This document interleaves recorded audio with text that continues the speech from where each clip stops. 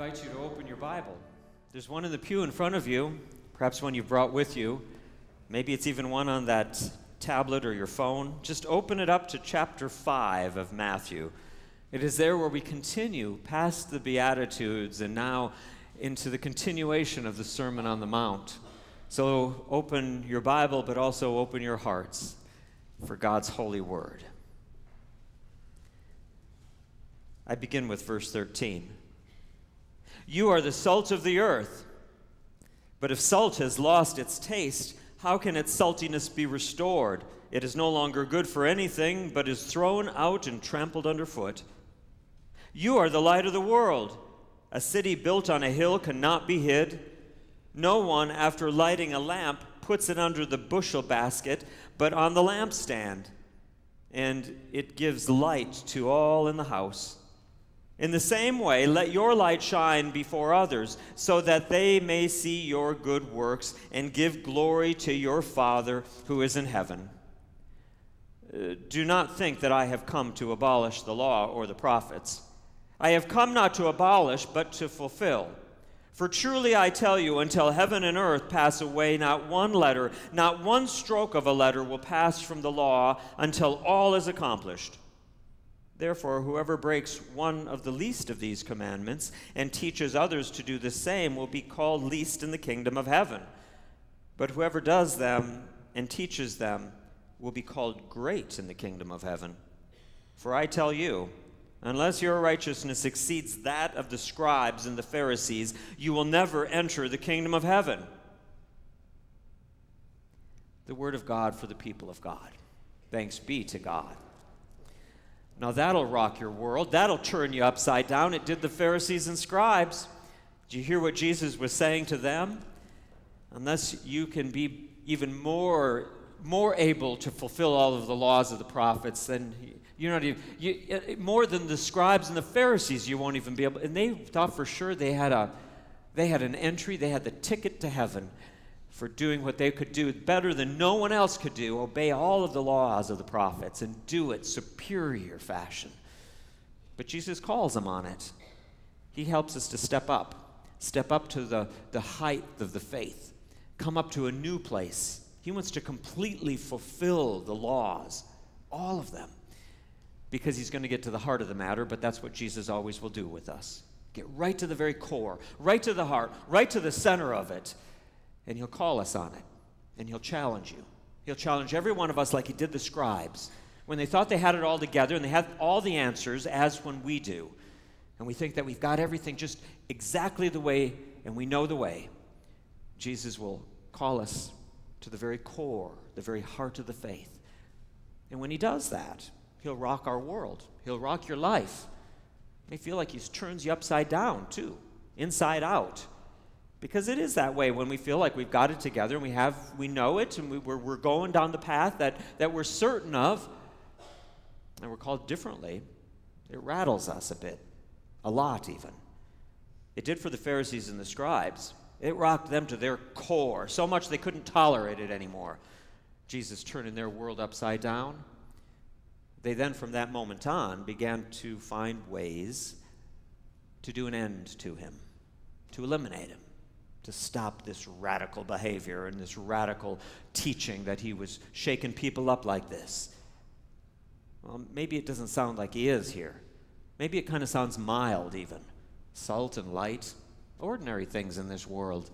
Salt and light, we've interpreted and made nice, lovely songs about it and, and, and, and wonderful lessons for, for Sunday school children about salt and light, and they can be interpreted kind of mildly, even. But there's nothing mild about the Sermon on the Mount. Sermon on the Mount indeed turns a world around and upside down. It's a radical teaching of Jesus. You can go into the scriptures and find it to be so. Jesus will begin with Deuteronomy in the sixth chapter. In a number of ways, he does so, but in one way it is you will teach your children the way to go so that they'll follow after it and they'll, they'll keep on going into the faith. Eh, it starts when we're young. We give our children the Holy Scriptures so they will learn from them, so that their lives will be shaped around them, so that they will learn how indeed, for their own souls, their own lives, to be disciples people of the light, but also so that they will be about changing the world, so that they too will be about a generation which will, which will give the truth, the gospel truth, and radically shift life for themselves, but for the sake of all. You take a look also in Daniel in the sixth chapter, and there you will find about the way his story and his life and the way he was a salt and a light into the world when others gave up because they were pulled away from homelands and into foreign places and foreign kings. But it was there that Daniel remained faithful. He remained faithful to the point where, where the king actually had his whole life shifted. And he began to see the truth that there is a living God, a one and only God. A king who had been worshiping as a pagan, as many, many gods in ways, he altered his life because of the example of, da- of Daniel, because of his example of the way he lived out in life. The king could look into his life and could see this person lives in a unique way, in a way in which his faith means something to him. And he's strong because of it. Daniel had an inner strength in his body, but all the more so in his, in his spirit. He could stand steadfast even in the face of the powers of this world who were overthrowing a revolution that that king of Babylon was creating. But Daniel had a revolution in the name of God, a revolution that would alter the very soul of humankind, that God was coming to teach and to share. In John 4, there's a woman at the well who is nameless. We don't know her name, but she changed her entire village. You remember she was at the well and Jesus met her there? And when Jesus met her there at the will and told her the inner truths about her life, in effect turning her life and world upside down into the ways that she thought she ought to be living. And Jesus called her to a new way, to be a person of the light, a disciple of the light. And she received a grace upon grace that transformed her life at the well, so that that which she thought she came to have was the water in the well. She got water, living water, Jesus said. It will give you all that you need. And she said, Where can I find this? And Jesus let her know that I'm right here for you now, the one who's come. And she gave her life as a disciple. And then she called her entire village to do the same.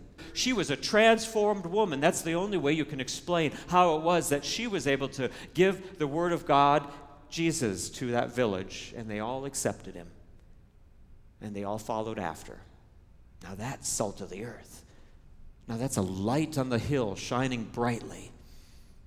That's how she was called, and she did it. We're called to nothing less than that as well. That our lives become radically shifted and changed, and that others can see that there is something in us, in you, that is awesome and wondrous, in a way indeed that that's not like people typically think of the church. I wonder how Jesus would call us into a discipleship, coming into our lives and into our world and into our church, even. And how is it that he might call us to have a radical shift for our own selves and in who we are? Seems like we should always be asking that question. So that we then can, can have the world look upon us and say, What is going on in that church? What is happening in that body of people in which they are able to enter into the world and, and, and make an enormous difference like they are. I want to be a part of something like that. How often do people in our community say that about we, the church? I want to be a part of a people who, who make that kind of a difference. Well, we do make a difference. We do have ways that we are the salt of the earth and the light in the nation, and we do that, and we do it marvelously well. And Jesus would call us to a higher level and a higher standard as well. He would shake us up from places of complacency, wouldn't he? He would rattle us a bit and make us uneasy and uncomfortable in our settings. Because it is true that too often we gather as a church as a comfortable body just to be and just to relax and just have a moment of peace for ourselves. I like that about church. I like that about coming here on a Sunday where I can just be at peace, find a time to focus, Time to find to breathe and just let loose of the burdens. That's what worship is. And that's important, and that's a good thing.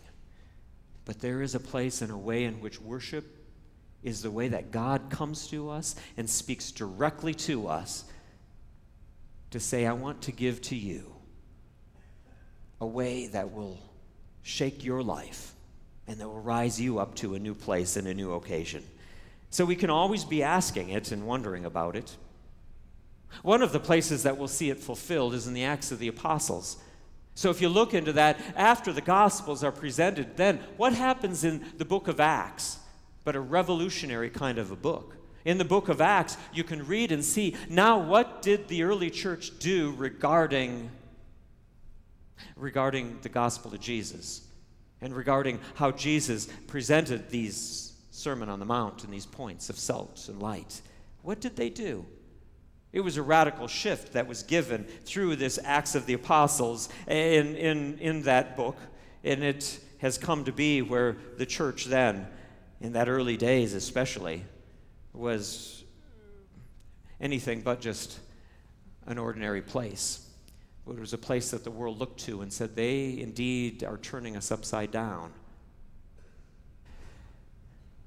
Maybe we ought to experience that more often as the people of Jesus gather together, that a riot would break out. That's what N.T. Wright would say about the Acts of the Apostles in that book. This is what he says Acts could be accurately named Another Day, Another Riot, because that was the life of the early church. Wherever they seemed to go, a riot would break out. People would get up in arms about what they were saying and what they were doing, these radical Christians.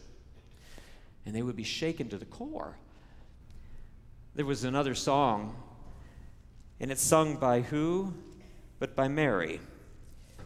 My soul, it magnifies the Lord, and my spirit rejoices in God my Savior, for he has looked with favor on the lowliness of his servant.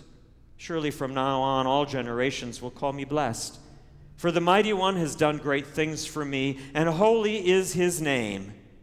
His mercy is for those who fear him from generation to generation. He has shown strength with his arms. He has scattered the proud in the thoughts of their hearts. And he has brought down the powerful from their thrones and lifted up the lowly. He has lifted the hungry with good things and sent the rich empty away. He has helped the servant Israel in a remembrance of his mercy and according to the promises he has made to all of our ancestors forever. He is the one who shakes us up, who calls us to live in that way of mercy, of His love that's given freely, that's offered to all. How do we be a salt in the world today? How are you called to be light in the nations? How we live makes a difference and it impacts the world. How we're called to be salt of the earth and a light to the nations and we need to tell the truth. And we need to stand up for one another. And we need to stand up especially for those who don't seem to have a voice and who are on that lowest rung of the ladder or who are powerless in the midst of power. That's what Mary was saying would happen. It would turn upside down in that way. That's where Jesus is calling us to a profound life that can give people hope when they've had no hope when they thought they were powerless against a force that would do them harm,